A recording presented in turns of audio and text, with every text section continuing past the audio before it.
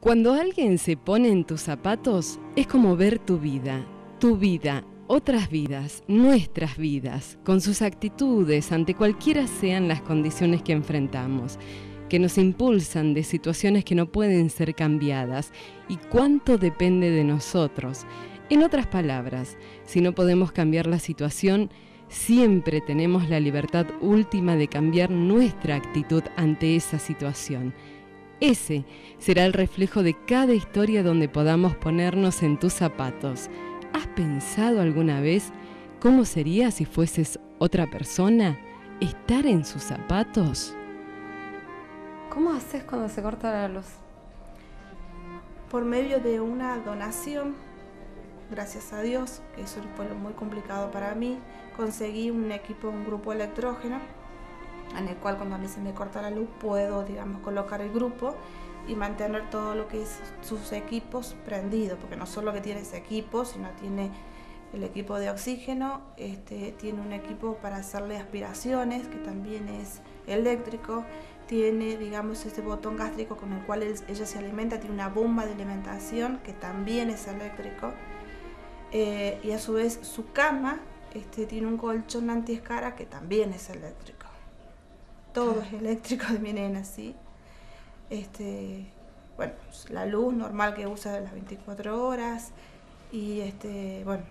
Por la cantidad de, estudios, además que han hecho, ella es fotosensible hoy en día. Ella hoy es fotosensible, si parte de la enfermedad deteriora lo que es retina del ojo, ¿sí?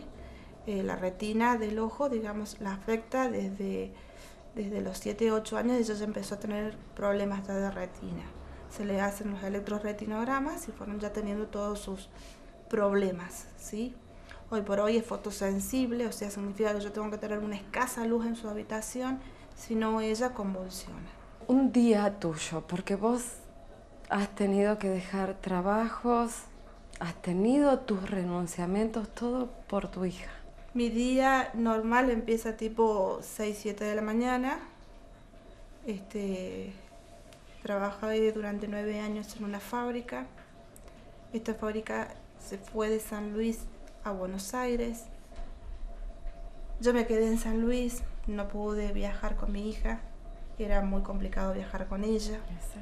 Este, llevarla era correr todo un riesgo de vida para ella. Así que bueno, me quedé en San Luis, este, sin trabajo, buscando a todo el mundo solicitándole trabajo. Tengo 44 años, hoy por hoy la oferta laboral es para 25 o como máximo 35 años.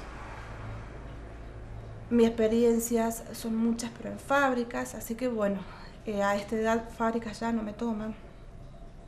Entonces, este, corrí todo los riesgos habidos y por haber para conseguir trabajo. Fui a todos los lugares imaginables para solicitar y golpear puertas solicitando trabajo. Pero bueno, no conseguía. Este, para mí tener trabajo es vital, porque la obra social de mi nena este, la pagamos. El costo de lo que vos tenés que afrontar todo el tiempo por la enfermedad de tu hija, los costos, las peleas en la obra social, la cantidad de remedios que toma tu hija. Hoy por hoy mi nena tiene una obra social privada que sale 3.500 pesos mensuales. Eh, esta obra social yo la tenía cuando estaba dentro de, la fábrica, entonces este, decidí seguir abonando esa, ese costo, digamos, extra, digamos, fuera, cuando me fui de la fábrica para poder seguir manteniendo a la nena. Porque si yo me tengo que ir a otra obra social es muy difícil que acepten una nena en las condiciones que está la mía. Hoy por hoy mi nena tiene internación domiciliaria por lo mismo que te expliqué hace rato, el oxígeno y todas las cosas que ella hoy necesita. En realidad mi casa está armada casi como un hospital, como un sanatorio, por todas las cosas que ella hoy necesita dentro de, mi, dentro de su casa. claro, incluso vos has tenido que dejar tu dormitorio para todas las cosas de tu hija y trasladarte vos también. Exactamente, me tuve que trasladar de mi propio dormitorio porque dentro de mi dormitorio lo uso como un tipo de depósito de ella porque necesita remedios, alimentación, algodón, sueros, eh, todo lo que es un equipamiento para ella. Esta es una casa común y corriente, una casa de barrio, bueno, y los dormitorios son chicos, terminan quedando chicos por la cantidad de cosas que ella hoy necesita. La alimentación que viene una vez al mes, que me la traen de Córdoba. Esta alimentación tiene que estar en un lugar fresco y, digamos, cuidado del sol. O sea, es todo un cuidado especial en, eh, en, todo lo que ella consume y todo lo que ella tiene, ¿sí? Este, tener un mínimo almacenamiento de toda la cantidad de remedios que ella usa. Esto también implica tener sueros, sondas, eh, vías, agujas, eh, medicación, eh, lo que te expliqué recién, todo lo que es el equipo de ella para, para nebulizarla, para aspirarla. Es todo, digamos, un batallón de cosas que cuando quieres ver no te quedan los espacios en tu propia casa, ¿sí? ¿Cómo haces cuando estás en el trabajo? Porque vos estás muchas horas trabajando. Alternar la interacción domiciliaria, este, tengo la Elena cuidada las 24 horas. Esto no implica que como mamá este, me pueda, digamos, sacar todas las obligaciones. Muchas veces me sucede que me tomo los 10 minutos de mi descanso y en esos 10 minutos terminas llamando a un médico para saber sobre un resultado de un análisis, terminas llamando a una empresa para saber a qué hora te traen el oxígeno, porque hay que reponer el oxígeno, terminas llamando, termino llamando a otra persona para que me ingrese algún remedio que no, no, no está entrando en el país. O sea, estás constantemente activa, ¿sí? O sea, esto significa eh, ni siquiera estar tranquila cuando estás en tu trabajo. Pero, ¿qué pasa? Si no trabajo no se paga la hora social y no mantengo la calidad de vida de mi hija, porque esto es solo mantener su calidad de vida. Contame cómo era tu hija de chiquita.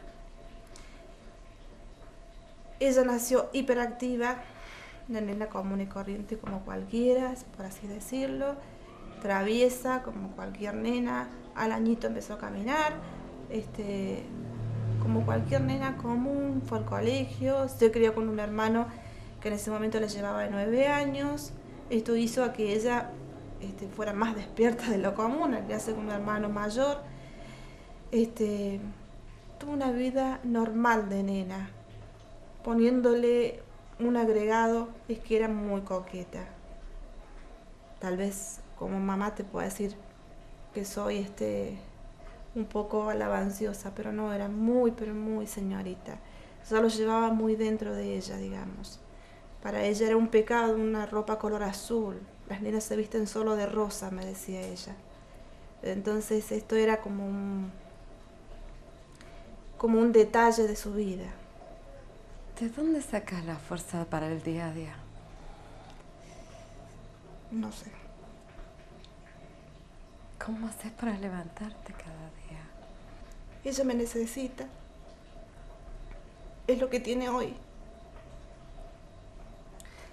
Ella me enseñó que aún derrotada hay que seguir. Esa es una experiencia de vida. No sé qué voy a hacer cuando ella no esté vas a seguir? Sabes que, este, no sé, es muy difícil. No tengo otra opción. Ella eligió la vida y yo tengo que seguir eligiendo la vida como la eligió ella. Vivo para ella. El problema va a ser cuando no esté ella. Solo me van a quedar los recuerdos de ella. Y es muy doloroso como mamá vivir solo con recuerdos. Es muy difícil entender que tu hija se está muriendo. Es muy difícil entender que la ciencia no me puede ayudar. Es muy difícil entender que no hay una, cura para esta enfermedad. Y esto ni siquiera se trata de tener una mejor condición de vida, o mejor dicho, de dinero. Esto ya ni siquiera es de dinero. Conozco familias de otros países con muchísimo dinero que han intentado salvar a sus hijos y no lo pudieron hacer. Porque llegas a un momento en el cual estás tan metida en esta enfermedad que decís, bien, el dinero podrá salvar a mi hija.